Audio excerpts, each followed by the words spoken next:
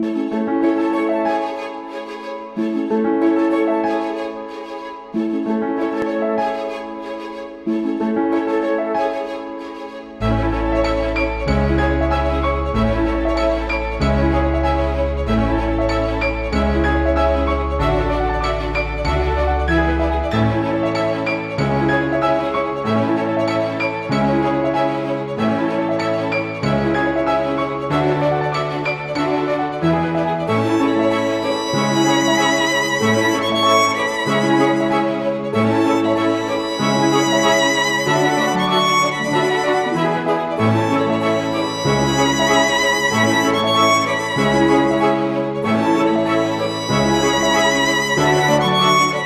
Amigos, amigas, muy bienvenidos a este primer programa en este día de hoy, domingo, rumbo hacia la verdad. Como he ido anunciando días atrás, este programa tendrá eh, como fin, pues con varios compañeros y compañeras que han accedido a participar en este proyecto, eh, que son todos ellos, igual que yo, maestros espirituales, terapeutas, eh, y expertos en diferentes terapias y en ayudar a la gente muchos años. Cada domingo, eh, salvo excepciones, salvo algún domingo que, mm, no sea posible, vamos a estar eh, debatiendo un problema, una situación o hablando de un tema espiritual o algo que nos pueda, que os pueda ayudar. Hoy vamos a, tratar, eh, dado que se está acabando el año, cómo conseguir que el próximo 2024 sea nuestro año de éxito, porque cada año que se acaba siempre nos ponemos metas como adelgazar, voy a dejar de fumar, voy a conseguir hacer ese proyecto y luego pasan los meses y no lo logramos. Queremos saber por qué ocurre eso y cómo lograr conseguir ese éxito en este 2024. Y para ello hoy vamos a tener a Nieves García, que está en las Islas Canarias, en España, ella es una mm, escritora y terapeuta maravillosa y desde Uruguay vamos a tener a Sandra Pratelli que trabaja con la memoria celular, flores de Bach, cuencos tibetanos y mucho más. Pues entre los tres, ellas dos y yo, vamos a debatir, vamos a ver si encontramos las claves de cómo hacer del 2024 el mejor año. Así que voy a conectar ya con Sandra y con Nieves. Vamos allá. Hay una palabra que a mí me encanta, que la menciono mucho, estoy enamorada de esa palabra, que es una expresión japonesa que es Ikigai, el Ikigai, que viene a ser como una filosofía en la cual la persona es feliz eh, haciendo aquello que le hace sonreír. Es decir, una cosa es el trabajo que tienes que hacer, que te puede gustar o no, en la mayoría de los casos no. no. En la mayoría de los casos es porque hay una necesidad, ¿no? Pero el Ikigai es hacer aquello, te paguen o no te paguen, que te llena de felicidad. Y ahí quería arrancar yo eh, el programa de hoy con vosotras. ¿cómo, ¿Cómo poder encontrar el Ikigai? ¿Cómo poder hacer eh, para encontrar eso que nos enamore, que al final detrás de todo eso está la felicidad? Por ejemplo, Nieves, ¿cómo ves esto? Bueno, para mí eso es lo que yo llamaría el propósito de nuestra vida, la misión por la cual hemos nacido. Y es aquello en lo que verdaderamente te sientes a gusto y ni siquiera tendrías la necesidad de, cobrar, ¿no? Es aquello que haces simplemente de una forma cómoda. Por ejemplo, las personas que todavía no saben cuál es su propósito de vida, yo siempre les invito a reflexionar en dónde es el tiempo que dedican su tiempo libre. Por ejemplo, qué vídeos ven en internet, qué es lo que les gusta hacer, porque eso lo pueden convertir en el propósito, poniéndolo al servicio de los demás y por supuesto que eso les pueda reportar también lo que es la abundancia, la economía. Eh, para mí sería desastroso no vivir de mi propósito de vida. La verdad es que me da muchísima compasión porque hay muchísimas personas que trabajan en trabajos que no les apasionan, que simplemente lo hacen para poder sobrevivir y no son felices. Y de ahí yo, por ejemplo, en mi trabajo particular como sanadora, atiendo a muchísimas personas con depresión, con ansiedad y con muchísimos problemas debido a que están en trabajos que no les apasionan. Es importante trabajar en aquello que nos apasiona. Todos tenemos un propósito, todos tenemos una misión aquí en la Tierra y algo que nos diferencia de los demás. Cuando lo descubrimos y aprendemos a ponerlo al servicio de los demás, nunca nos va a faltar la abundancia y nos va a faltar pues, en nosotros poder vivir, no sobrevivir, sino vivir, vivir con libertad. Porque cuando nosotros estamos en nuestro propósito de vida, también estamos viviendo en libertad porque no sentimos que estamos trabajando. Para mí, trabajo significa esfuerzo Sin embargo, propósito o misión es aquello que nace de tu alma, es aquello que tú haces desde el corazón. Y el tiempo pasa muy rápido, eh, dejan de existir los lunes y los viernes, ay, qué bien que es viernes o qué, o qué mal que es lunes. Todos los días de la semana se te pueden convertir en días exactamente iguales porque estás viviendo desde la pasión, desde el amor, desde aquello por lo cual naciste. Y a la vez te está reportando también la, la, abundancia. Así que yo invito a todos a que reflexionen qué es aquello que les apasiona. Puede ser cocinar, pues cocina, enseña a otros a cocinar. Puede ser escribir, pues escribe o enseña a otros a escribir, pero siempre haz aquello que te apasiona, aquello que harías incluso sin tener que cobrar dinero. Si estás en un trabajo que no harías de una forma gratuita, por ejemplo, un fin de semana, eso quiere decir que no, que no es tu propósito. Sin embargo, si estás haciendo algo que lo haces como extra, se te pasa el tiempo muy rápido y no tienes la necesidad de, de cobrar ese tiempo, entonces ese es tu propósito. Así que, tenemos que darle forma. Y creo que este 2024 puede ser una gran oportunidad para reflexionar, para entrar dentro de tu corazón y para redescubrir cuál es la razón por la cual has nacido. Y encontrar ese propósito, ese ikigai, ese, esa misión que puedes poner al servicio de los demás y que te va a dar éxito, abundancia, felicidad, plenitud, porque vas a vivir del corazón. Sandra, ¿y tú cómo lo ves? ¿Cómo lo ves? Bueno, yo lo veo eh, como un proceso interior que todos deberíamos hacer. Algunos, bueno, lo hemos hecho a las duras, otros les ha venido este hemos sido, nosotros creo que somos bendecidos porque trabajamos en lo que nosotros realmente nos apasiona y como dijo Nieves, este, no necesitaba, no necesitaríamos ni siquiera cobrar y realmente lo disfrutamos y es algo que el tiempo vuela. Y bueno, somos realmente bendecidos. A mí llegar a mi propósito de vida en realidad este, me costó, a mí me costó. Este, si bien soy apasionada en lo que hago, siempre las cosas que hice, las hice con pasión, o sea, yo soy profesora de sociología, eh, además tuve a mi cargo una metalúrgica, que era de mi papá y luego la heredé yo, pero en realidad el propósito de vida que yo considero que es este, llegué luego de muchos obstáculos o pruebas que tuve que sortear, que ir sorteando para lograr encaminarme. Y me encantó que lograras a María, eh, que nombraras a, a María Nieves, este, me encantó. a María como camino, me encantó. Muchas gracias. Eh, si mezclamos los números 2024, nos sale el número 8. En numerología, el 8 es un número de cambios, de transición, de transmutación. La gente está toda la vida eh, diciendo que va a cambiar, que va a cambiar, que va a cambiar, o que va a dejar de hacer cierta cosa, o que va a hacer otra, ¿no? Pero mm, llega el año y procrastinan, ¿no? Ahora me va mal, ahora los niños, ahora no sé qué.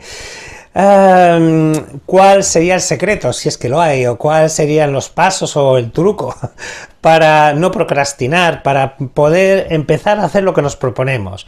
Eh, Nieves, tú misma. Bueno, lo primero que nada es salir de la zona de confort. Tener muy claro nuestras metas, tener muy claro cuál es el objetivo. No dispersarse. Escribir nuestras metas es muy importante. Y con fecha, siempre con fecha, con una fecha límite, porque eso nos va a dar la determinación. Luego también es importante dividir las metas. Yo, por ejemplo, solo poner ejemplo, si quieres escribir un libro y tiene 200 páginas y lo quieres escribir en un mes, pues tienes que dividir las 200 páginas por los 30 días y te va a dar exactamente las páginas que tienes que escribir diariamente. Y luego comprometerte, tener un sueño muy claro. ¿Por qué tienes ese objetivo? ¿Por qué quieres escribir ese libro? ¿Para qué? y conectar siempre con ese sueño, porque eso te va a ayudar muchísimo a no dejarte influenciar por el día a día, por los obstáculos o sobre todo por la rutina. Porque muchas veces entramos dentro de la rutina y nos olvidamos verdaderamente de la razón por la cual nos hemos puesto un objetivo y una meta. Por eso es importante conectar también con nuestros sueños, con el por qué y el para qué queremos lograr un objetivo. Y escribir nuestras metas, ponernos una fecha límite, dividir nuestras metas es esencial y primordial para poder llevarlo a cabo. Y aquí me refiero a cualquier objetivo, ya puede ser escribir un libro, ya puede ser el objetivo de que quieres perder peso, pues tienes que tener muy claro que tienes que cambiar tu alimentación, cuál va a ser el tipo de alimentación y nueva compra que vas a tener en tu casa, si te vas a apuntar en un gimnasio, qué días vas a ir al gimnasio, a qué horas vas a ir al gimnasio y comprometerse. Somos 100% responsables de nuestros resultados y el compromiso es esencial para nosotros poder llegar a nuestra meta, a nuestro propósito y a poder verdaderamente realizar y materializar aquello que verdaderamente queremos. planificar. Muy bien. Sandra. Bueno, yo en cuanto a los objetivos, sí, obviamente que haría una lista de, hago una lista con mis objetivos para el año, ¿verdad? Y no solamente los, los enumero, además los verbalizo, o sea, los leo en voz alta. Para mí es muy importante escucharme, no solamente visualizar los escritos, sino también escucharme decir, en el año 2024 voy a lograr determinadas cosas, X, eh, pueden ser muchas, y luego me, me gusta pensar a mí cuál sería eh, el motivo por el cual yo no podría lograrlos, porque en realidad todos podemos lograr todo lo que nos proponemos. Mm. Entonces, hacer esa reflexión interior con cada uno o con el objetivo, ya sea macro o micro objetivo, de, y yo los, los invito a que hagan una frase, elijo puntos suspensivos, aun cuando puntos suspensivos.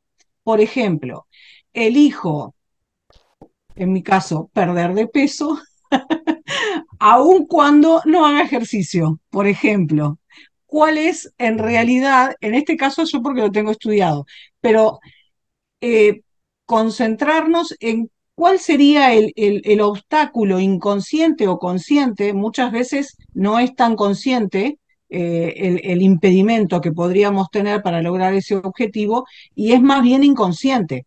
A veces hay frases eh, limitantes o creencias que, que, hemos ido adquiriendo con el tiempo y con, con eh, la vida y que nos están limitando o nos están este, poniendo ese obstáculo para que logremos el objetivo.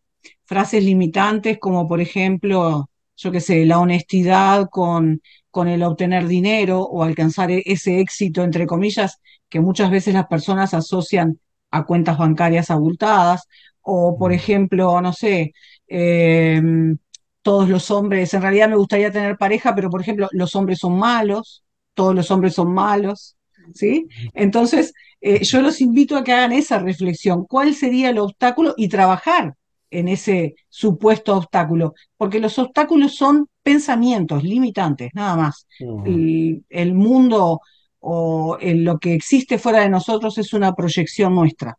Entonces, eh, bueno, si parte de nuestros pensamientos es ahí que tenemos que trabajar. Yo estoy de acuerdo con vosotras y además quiero, quiero deciros que veo todos los años igual, ¿no? Tanto en mis pacientes como en la gente que me rodea. Eh, cuando llegan los últimos meses del año, esa euforia, ¿no? Una euforia, un, un, subidón que se dice, ay, este año va a ser mi año que voy a hacer no sé qué, y luego viene el bajón. Entonces, eh, yo creo que, y aquí quiero tocar otro tema, también es importante eh, saber qué es lo que se puede lograr y lo que no. Por ejemplo, yo a un paciente mío que me decía que quería ser campeón de natación, le dije, ¿cuánto tiempo aguantas nadando? Una hora como mucho. Le digo, pues entonces lo tienes muy lejos. Quiero decir, eh, no sé qué opináis, yo creo que las metas tienen que empezar por pequeñito, porque hay gente que dice, voy a dejar de fumar cuando igual está pasando un duelo o una situación terrible o cualquier eh, problema, pues no es el mejor momento para dejar de fumar. Digo, dejar de fumar o cualquier cosa, ¿no?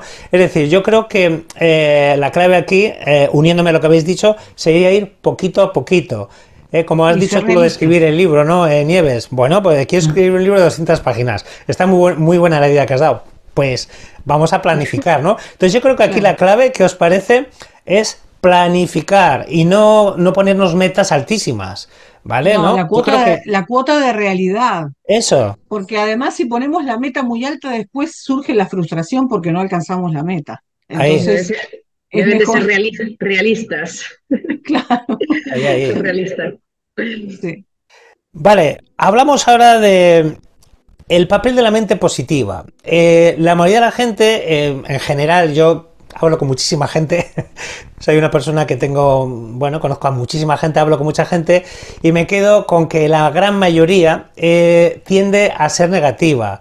Hay mucha corrupción, esto es imposible, con mi edad, ¿dónde voy a ir yo? Etcétera, ¿no? Tendríamos que empezar a trabajar la mente positiva, ¿no? Que es la clave de muchísimas cosas, ¿no? ¿Cómo lo ves, Nieves? Bueno, yo creo que para nosotros poder conectar con esa parte positiva, primero tenemos que ser conscientes. Las estadísticas dicen que tenemos entre 60.000 y 80.000 pensamientos al día y que más del 90% de esos pensamientos son negativos. Eso es. Y si nuestros pensamientos son los que crean nuestra realidad, pues simplemente tenemos que observar cuál es nuestra realidad en todas las áreas de nuestra vida para saber cuál es la calidad de nuestros pensamientos. Si nuestras experiencias, nuestros resultados no están siendo positivos, nos habla de cuál es la calidad de los pensamientos. Con lo cual ya tenemos una gran herramienta para nosotros poder crear esa conciencia de cambiar el enfoque. Yo siempre digo que se trata de cambiar el enfoque. ¿Dónde te estás enfocando? ¿En qué te enfocas? ¿En lo positivo o en lo negativo? Porque negativo atrae negativo y positivo atrae negativo. El vaso siempre medio lleno y no medio vacío. Por supuesto. Esa parte es muy importante. Pero sobre todo es donde nosotros vamos a poner y enfocar nuestra atención. Si yo tengo algún obstáculo y pongo mi atención en el obstáculo, voy a atraer más a mi vida de ese obstáculo. Sin embargo, si yo pongo la atención y el enfoque en la solución a cualquier problema, lo voy a encontrar. Porque nuestros pensamientos crean nuestra realidad al 100%. De hecho, somos 100% responsables de todos y cada uno de nuestros resultados. Nuestros pensamientos están generando y creando y manifestando nuestra realidad. Por eso lo más importante para nosotros conectar con el pensamiento positivo es ser conscientes de ello, cambiar el enfoque. Para ello tenemos muchísimas herramientas. Podemos utilizar frases positivas, escuchar o ver programas como estos, que muchas veces también nos dan la, la luz, la dirección para saber dónde nosotros estamos fallando y analizar, analizar cada, cada, cada, cada, área de nuestra vida, cómo me va económicamente, cómo me va en mi salud, cómo me siento a nivel emocional, cómo son mis relaciones, cómo va mi área de propósito y valorar. Podemos incluso valorar del 0 al 10, siendo el 10 la satisfacción plena y evidentemente el 0 la máxima frustración, para determinar cuál es la calidad de nuestros pensamientos y comenzar a ser conscientes y cambiar el enfoque. Para ello utilizar muchísimas herramientas, como he dicho, las frases positivas, programas como este, leer libros que nos ayuden a entender nuestros pensamientos, a eliminar nuestras creencias limitantes, a transformarlas por creencias potenciadoras. Hay muchísimos coaching, muchísimas personas que ya han transitado un camino y que te pueden también indicar cuál puede ser el mejor para cada caso en particular. Pero sobre todo se trata de ser conscientes para poder cambiar el enfoque y empezar a transformar esa gran cantidad de pensamientos negativos que tenemos cada día, observando los resultados que estamos teniendo para poder encontrar un cambio. Si tú cambias, todo cambia. Muy bien. Sandra, ¿y tú cómo lo ves esto del pensamiento positivo? Bueno, yo este, como viste que mi método es vibracional, yo considero que todo en el universo vibra, eh, las piedras, las plantas, los animales, todo vibra. Eh, nuestros pensamientos también. Y en la medida en que nosotros eh, tenemos pensamientos cada vez más positivos, vamos también elevando nuestra vibración y la del ambiente que nos rodea. En ese querer eh, elevar nuestra conciencia, como dijo Nieves, también tenemos que estar controlando también eh, lo que nosotros escuchamos, lo que nosotros decimos, porque nuestras palabras también vibran, no solamente los pensamientos, y lo que nos rodea, lo que escuchamos, lo que miramos, lo que leemos, obviamente, ¿sí? Por ejemplo, en, en el pensamiento negativo, yo recuerdo que allá por el año 2000, yo dejé de mirar, por ejemplo, bueno, tele hace mucho que no miro, pero los informativos, por ejemplo, los dejé de mirar directamente porque era una vibración tan negativa que eran todas, era un cúmulo de malas noticias que se emitían a diario, entonces yo las dejé de escuchar.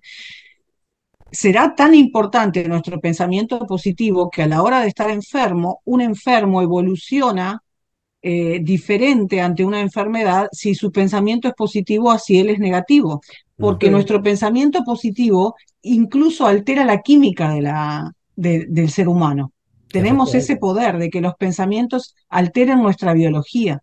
Entonces tenemos que ser muy cuidadosos y obviamente, hablando de metas, si realmente nos vamos a proponer elevar nuestra conciencia y estar más atento a nuestros pensamientos, es un trabajo de todos los días. No es que mágicamente un día nos acostamos negativos y al otro día nos levantamos positivos.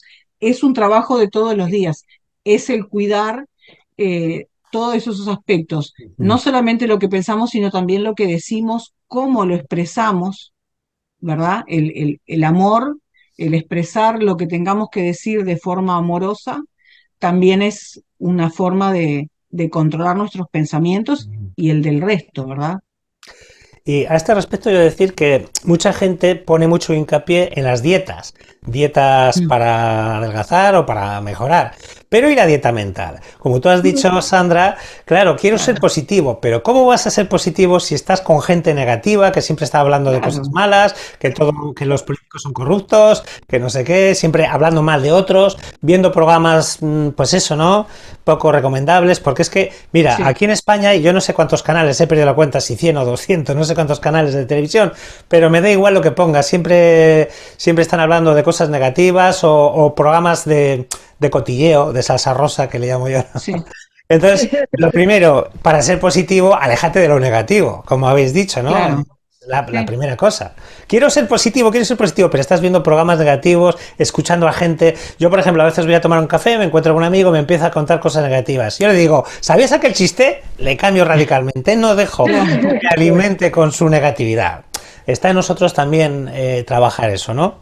Bueno, vamos ahora con otra palabra que también a mí me gusta mucho y ha sido muy importante en mi vida, la resiliencia, que básicamente es la capacidad de aprender de un problema. Es decir, perdón, el negativo va andando por un camino y encuentra piedras y ve obstáculos. El positivo va cogiendo las piedras y hace una casa con ellas. Entonces eso sería la resiliencia, ¿no? Entonces para el 2024 sería importante trabajar y entender eh, la resiliencia. ¿Cómo creéis que se puede, podría eh, preparar el 2024 entendiendo bien qué es y cómo trabajar con la resiliencia? Nieves, ¿cómo lo ves? Bueno, yo considero, y por mi propia experiencia personal, que cada obstáculo, que cada adversidad es un gran regalo. Es un mm. gran regalo de, fuerza, de fortalecimiento, pero sobre todo de ser conscientes de que no estamos transitando por el camino correcto. Siempre nuestra mm. alma nos está indicando el camino, el real. Y los obstáculos nos están diciendo que tenemos que reubicarnos. Yo he tenido muchos obstáculos y he tenido que tocar fondo muchas veces en mi vida para realmente convertirme en la persona que soy. Cada vez que a día de hoy me sucede algún obstáculo o estoy en algún momento adverso, entiendo que hay un gran aprendizaje, que siempre hay algo que viene a traerme algo muy, muy positivo y bueno. Entonces simplemente se trata de, observar, porque al final los problemas están en nuestro pensamiento, no están fuera. La realidad no es exterior, la realidad es interior. porque la vida nos está reflejando algún obstáculo? ¿Qué es lo que no estamos viendo dentro de nosotros? ¿Qué es lo que no estamos percibiendo? ¿Cómo están siendo nuestros pensamientos? ¿Cómo están siendo nuestras emociones? ¿Cómo están siendo nuestras acciones? ¿Están siendo las correctas o las incorrectas? La vida no tiene errores, no hay errores. O sea, no hay absolutamente errores. Todo lo que sucede siempre tiene una razón, siempre tiene un propósito mayor, absolutamente. Entonces, para mí, cada obstáculo simplemente me ayuda a ser más consciente de mí misma, a reconocerme, a reconocer mi propio poder interior, mi fortaleza, y a dejar de mirar fuera para comenzar a mirar dentro de mí, en mi interior.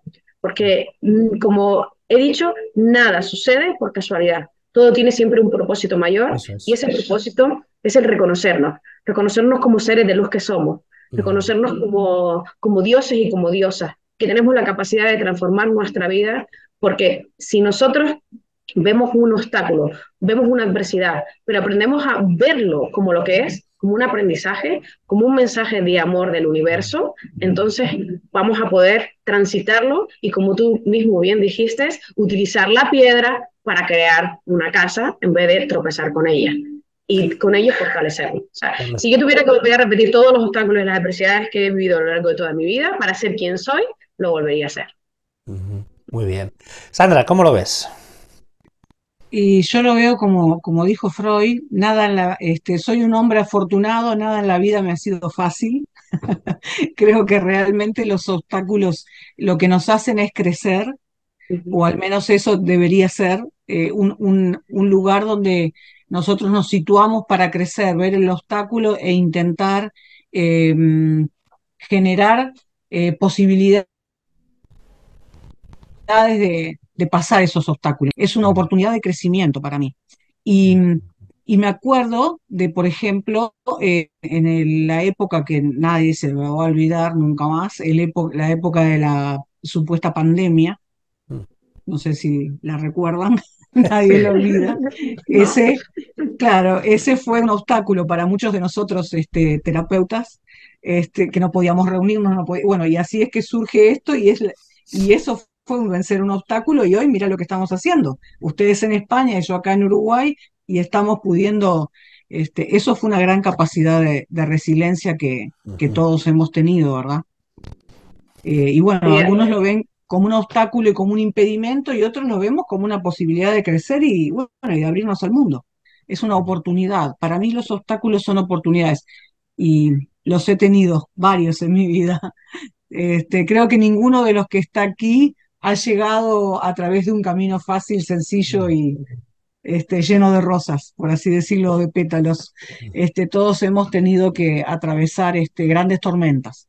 Y bueno, y estamos aquí. Fue una gran capacidad de... Y bueno, es lo que yo te digo, yo agradezco también a todos esos obstáculos que he tenido que sortear en mi camino, porque son quien me hacen ser hoy.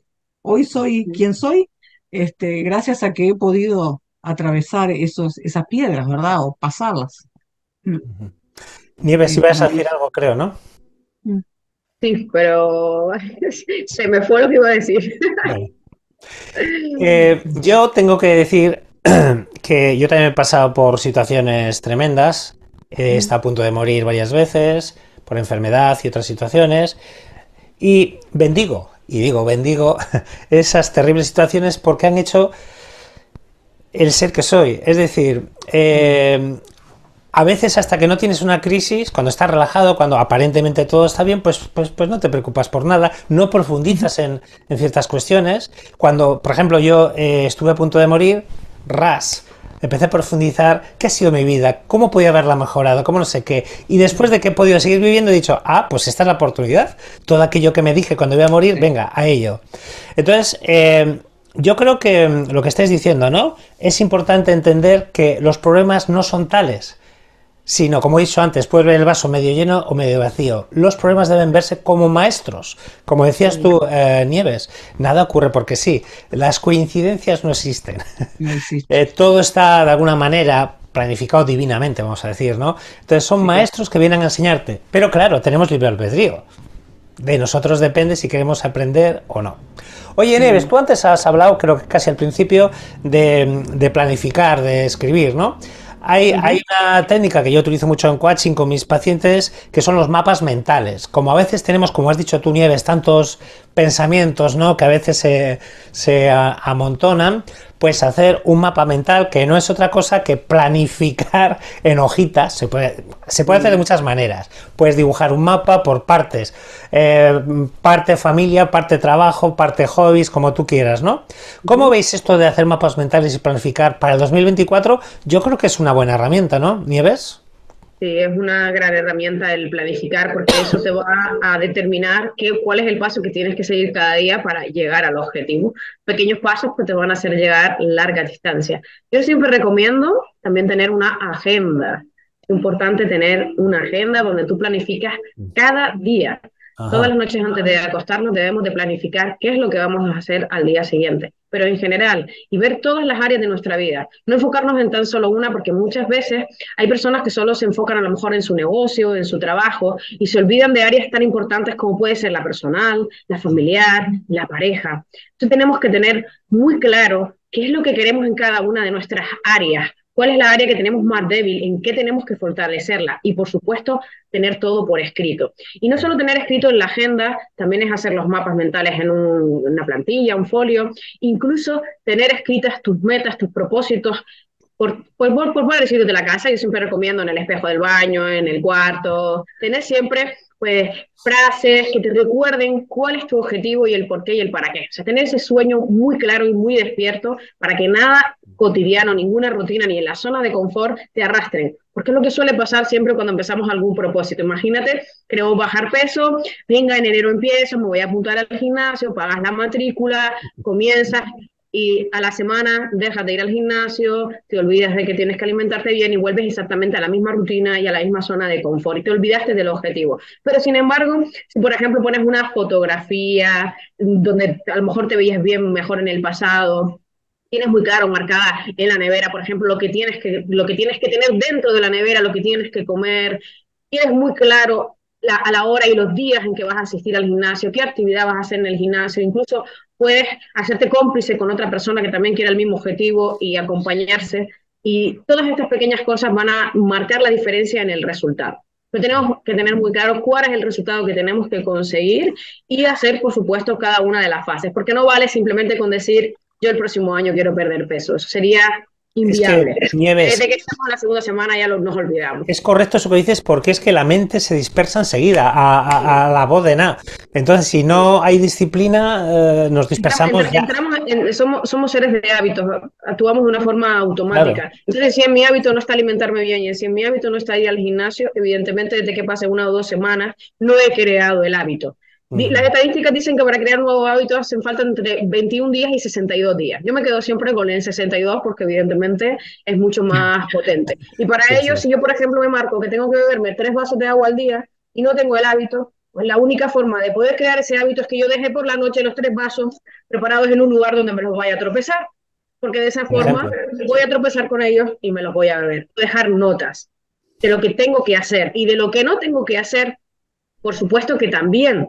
Pero es que somos, trabajamos de una forma automática. Nos olvidamos de lo que queremos cuando entramos en la rutina. Por eso tenemos que marcarnos, ¿no? Yo, por ejemplo, que hago talleres de alto impacto, enseño mucho la importancia de enfocarnos en aquello que queremos y, por supuestísimo, tenemos que ir transformando los hábitos. Y la mejor forma es sustituirlos. Si yo, por ejemplo, lo- volviendo a lo de bajar de peso, tengo la costumbre de cada tarde me como un pastel, pues tengo que cambiar el pastel, sustituirlo, por ejemplo, por una fruta. Pero para eso, ¿qué tengo que hacer? No tener pasteles en casa. Porque si imagínate que yo abro la nevera y me encuentro la nevera llena de pasteles y no hay ni una sola pieza de fruta en casa. Entonces, evidentemente, voy a fallar, voy a fracasar porque estoy en el hábito de tener pasteles dentro de, de mi nevera. O sea, lo primero que tengo que hacer es sacar todo, sustituirlo por el nuevo hábito y continuar. Lo mismo es, por ejemplo, a la hora de hacer deporte. Si estás acostumbrado a ver la televisión, pues utiliza esa hora en la que ves televisión para salir a andar, o para ir al gimnasio, o para apuntarte en una clase de baile, o sea, para hacer algo que verdaderamente te pueda llevar al objetivo final que tú quieres lograr, que en este caso que estamos hablando es pérdida de peso, pero puede ser cualquier objetivo. Pero siempre tenemos Les gustó, pérdida de peso les gustó, ¿eh? Les gustó. es una, es una de las grandes cosas que suele todo el mundo a final de año, ¿no? Ayer mismo yo estuve en una meditación Después de las y- navidades, ¿eh? Pero después de las navidades, ¿eh? Yo decía, ¿ahora es Navidad? No, yo comienzo en enero, ahora es Navidad, con Siempre. los dulces. no. Pero bueno, Es verdad. pues sí, tenemos que tener muy claro cuál es el objetivo y marcarnos la- las metas y tener Sí. todo como muy ordenado para crear los nuevos hábitos, porque no es fácil crear un nuevo hábito, porque Ajá. vamos automáticos. Sandra, ¿cómo ves tú el tema? ¿Cómo lo ves? De bajar de peso.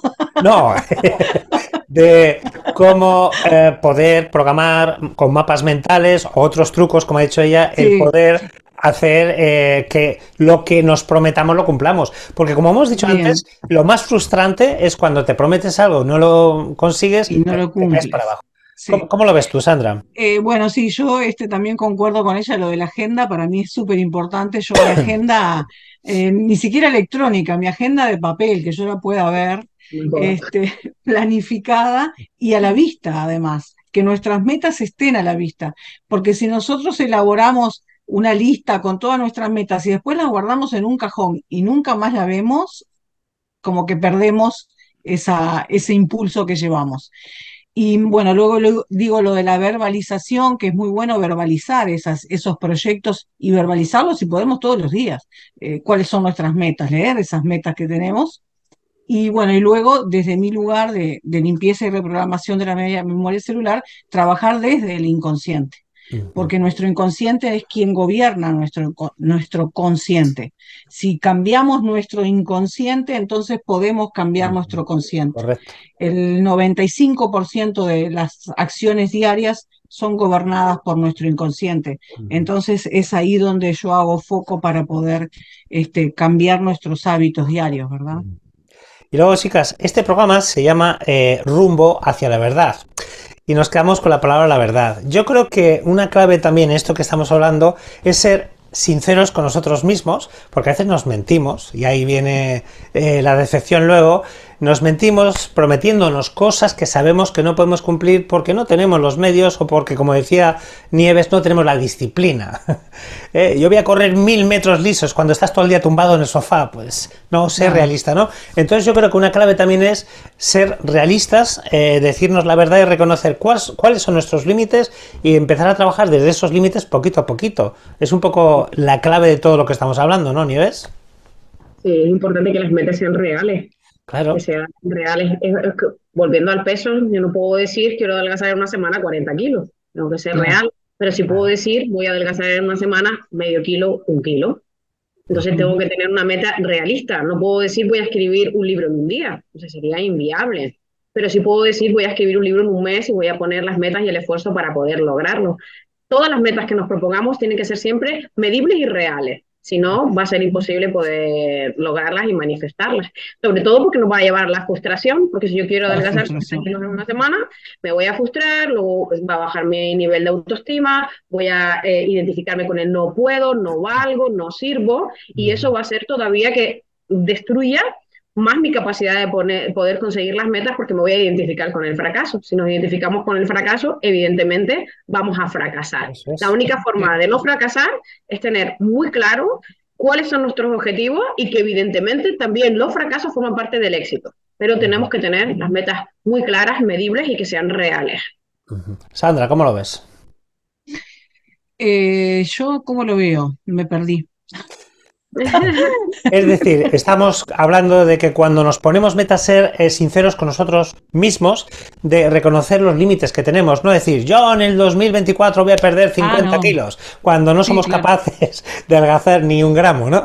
No, no, las, las, metas tienen que ser realistas. Eso es. Y, y, ahí va también este, lo de éxito y fracaso, y por eso yo digo que tiene que ser este, realmente desde nuestro libre albedrío y no impuesto. O sea, nosotras no podemos pretender que si de la noche a la mañana, como dijo ella, adelgazar 40 kilos, porque en realidad ponerle nuestro estereotipo o el estereotipo social de la mujer tiene X medidas y X peso. O sea, nosotros tenemos que ser reales con nosotros mismos y ser sinceros con nosotros mismos. Entonces, eh, ¿para, ¿para qué? Para no llegar a esa frustración. ¿Verdad? Nosotros no podemos, a mí hoy se me ocurre tener el peso que tenía cuando tenía 15 años, bueno, yo te digo que no voy a poder. ya tengo un parto de por medio, ya tengo otro, no voy a poder. A llegar a, esa, a ese cuerpo que yo tenía a los 15 años es imposible. Lo que sí voy a poder lograr es llegar a tener un peso saludable, ¿sí? Y armónico y bueno, y sentirme bien conmigo misma, porque en realidad es eso, es sentirme bien conmigo misma y con las metas que yo me propongo y esas metas van a ser, me van a hacer sentir bien conmigo mismo en tanto hayan sido pensadas y diagramadas por mí y no por otro. Eso es. Quien sea, quien sea, el, esposo, el hijo, eh, la sociedad o quien corresponda.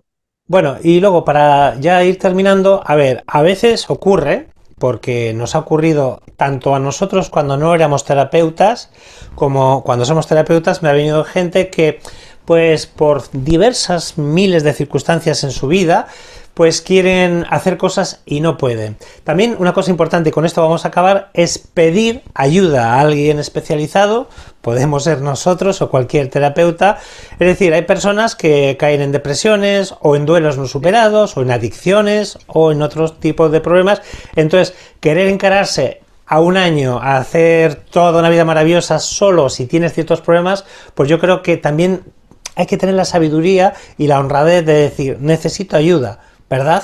Nieves, ¿cómo lo ves? Así es. Uno de los capítulos de uno de mis libros dice, si tú quieres, tú puedes. Y por supuesto que siempre podemos buscar a la persona correcta, el libro correcto, el curso correcto, que nos va a ayudar y que nos va a indicar el camino para nosotros poder obtener el resultado que deseamos. Porque nosotros tenemos que ser también coherentes y buscar siempre al profesional o la persona que ya de alguna forma ha recorrido un camino desde la coherencia. Por ejemplo, si yo quiero dejar de fumar, sería totalmente ilógico que yo fuera un terapeuta y estuviera ahí con el cenicero lleno de, colillas, porque no, no es coherente. O si quiero perder peso, voy a la dietista y pesa 200 kilos. Incoherente. Siempre nosotros tenemos que buscar cuál es la persona que de alguna forma ha recorrido nuestro mismo camino o que tiene el conocimiento para poder dirigirnos en la dirección que nosotros queremos, para conseguir el resultado que anhela nuestra alma. Por eso esa parte es muy importante. Tener siempre la humildad, ser consciente de que no lo sabemos todo. De hecho, yo siempre digo que entre más sé, más consciente soy de que no sé absolutamente nada. Y siempre tener la humildad de que cada ser humano siempre nos va a aportar un punto de vista diferente. Y luego, por supuesto, tenemos nosotros el libre albedrío de decir, bueno, esto que estoy escuchando de esta persona, pues voy a probar o voy a ver si realmente también es bueno para mí, porque probablemente lo que es bueno para ti, a lo mejor para mí no lo es. Pero tengo también el libre albedrío y la capacidad de poder decidir, probar si es lo más correcto para yo poder llegar al resultado y al objetivo que yo deseo en la vida. Pero hay muchísimos mentores y siempre tenemos que sobre todo dejarnos llevar por nuestra intuición, por nuestro corazón. Es aquello que te, que te dice tu alma, no la mente, porque la mente realmente nos puede sabotear y nos puede llevar por el Pero, simple, pero sin embargo nuestro corazón y nuestra alma siempre nos va a llevar por el camino correcto. O sea, dejarnos llevar por el corazón, por la intuición y nunca por la mente. Y ahí vamos a encontrar a la persona indicada. Dice que cuando, cuando nosotros pedimos al universo, el universo nos provee. Simplemente tenemos que tener los ojos bien abiertos, los oídos bien abiertos, porque a veces te puede llegar a través de una frase que escuchas en la cola del supermercado, eh, una frase que escuchas o que lees en un libro. La información te puede llegar de muchísimas formas. Entonces, cuando nosotros pedimos, lo que tenemos es que estar siempre muy abiertos para poder escuchar esa respuesta que el universo nos va a dar de cualquier fuente. ¿Cómo lo ves, Sandra? Bueno, yo veo que, que sí, obviamente hay que pedir ayuda pero el paso previo a pedir ayuda es la aceptación, es aceptar que tenemos, es reconocer que, que tenemos un problema, cual sea, eh, adicción, sobrepeso, el que sea, depresión, ansiedad, cualquiera de ellos sea, el primer paso para poder sanar o para poder tomar es aceptar, aceptar que tenemos un problema y luego pedir ayuda a quien sea, este, de la terapia que sea, como dijo ella, que ah, es algo que nos tenga que resonar, que resuene con, con nosotros, esa, esa ayuda que vamos a pedir, que incluso pueda hasta ser un amigo, que después ese amigo tal vez sea el que nos abra este, un, una, un, un espectro mucho más amplio y que diga, bueno, tú necesitas tal vez un terapeuta, pero no quedarnos solos con ese problema y con esa angustia o con esa tristeza, este, sino abrirnos. Y siempre que pidamos ayuda la vamos a recibir. Pedir que se os dará. Tienes razón, Sandra, eso que está diciendo, porque yo recuerdo mucho, en 25 años que llevo tratando pacientes, recuerdo algunos pacientes que tenían un secreto de, pues qué sé yo, un abuso sexual de la niñez o alguna cosa así, que lo guardaban para, para ellos y sacarlo conmigo, llorar y abrazarme y decir, si estoy casi curado. es decir, eso que acabas de decir es importante, hablar. si no puedes ir a un terapeuta, pues un amigo, pero, pero sacar eso que tengas ahí es el primer paso para, reconocer que tienes un problema. Porque en la mayoría, por ejemplo, a mí me han venido muchos adictos a cocaína, drogas, a alcohol, y muchos buscan excusas. Es que, bueno, estoy pasando un mal momento.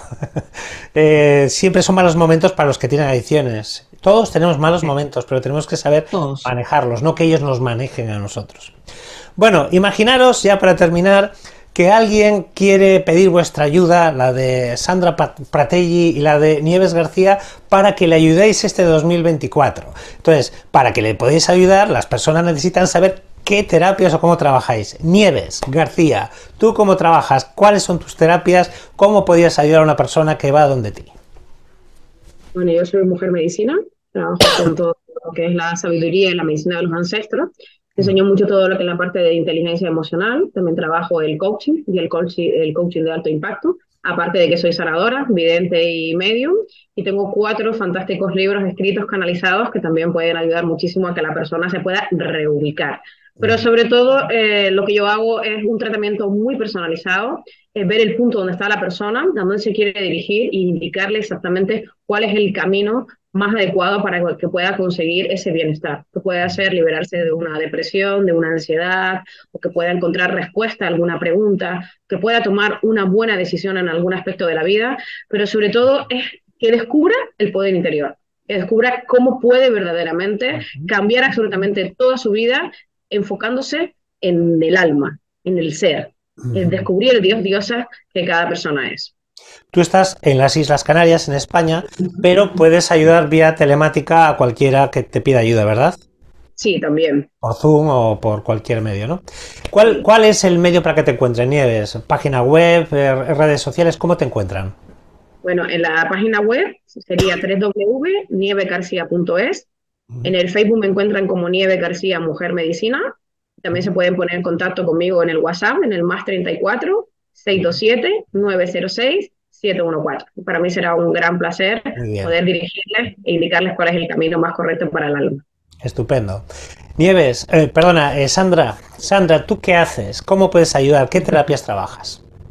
Bueno, yo este trabajo, soy terapeuta floral, trabajo con un vademecum que se llama Flores Silvestres de América, que son florcitas que, que crecen de este lado del, del, continente. Yo vivo en Uruguay, no vivo en España como ustedes. Em, también trabajo con cuencos tibetanos y de cuarzo. Y trabajo con limpieza y reprogramación de la memoria celular, que es un método que nos permite trabajar eh, cualquiera sea el problema, ya sea físico o emocional, pero desde el inconsciente. Ir a, ese banco de memoria que todos tenemos, que viene también de la parte ancestral de papá y de mamá, pero también las emociones que hemos este, acumulado en nuestra vida a lo largo, desde el momento cero de la gestación hasta, hasta la actualidad, y trabajarlo desde el inconsciente para poder cambiar esa información que tenemos, eh, que evidentemente la tenemos guardada en forma negativa y por eso es que nos está causando ese malestar o ese síntoma, y bueno, y poder superar este, los problemas desde allí, desde nuestro inconsciente. Y bueno, sí, yo también trabajo en forma presencial o también remota, ¿verdad? Muy bien. ¿Cómo, cómo te pueden encontrar, eh, Sandra? Bueno, a mí me pueden encontrar por Instagram como Sandra Pratelli, que es mi nombre, con doble L y con I latina. Eh, me pueden encontrar en Facebook y si no, también por WhatsApp, eh, poniendo la característica país que es más 598 y luego a continuación el, número de mi móvil que es 94082-146. Así me encuentran y con mucho placer este, voy a intentar ayudarlos. Bueno, chicas, antes de irnos, me gustaría, si os parece bien, que lancéis un tip, como se dice ahora, se dice un tip, un consejo, para la gente que nos está viendo para el 2024. Un pequeño consejito, unas últimas palabras vuestras. Nieves, ¿qué, qué le dices a la gente que nos está viendo para que tengan un mejor 2024? Lo primero es que crean en ellos mismos, que escuchen a su corazón, que tengan muy claro que tienen la capacidad de poder, de poder lograr cualquier, cualquier objetivo que se propongan en la vida. Ajá. Sandra. Bueno, yo los dejaría con esta frase que no es mía, no sé a quién pertenece, pero que tanto si creen que pueden como si creen que no pueden, tienen razón. Y yo, y yo les dejo con una frase de Buda de, que dice, si sigues haciendo las mismas cosas, te seguirán ocurriendo las mismas cosas. Así que si tienes un 2024 distinto, haz otras cosas. Bueno, pues con estos pensamientos, estos tips, nos despedimos hasta el próximo programa aquí en Rumbo hacia la Verdad, que hoy hemos estado con Ives García y Sandra Partegui, pero no os perdáis el próximo domingo que estaremos con otras, otros terapeutas, otros amigos, hablando de temas interesantes. Sandra, Nieves, muchísimas gracias por vuestra participación hoy, de corazón, gracias. Por favor, muchísimas gracias y feliz Navidad para todos. Feliz año, feliz Navidad a todos, gracias. Nos vemos, gracias. Chao.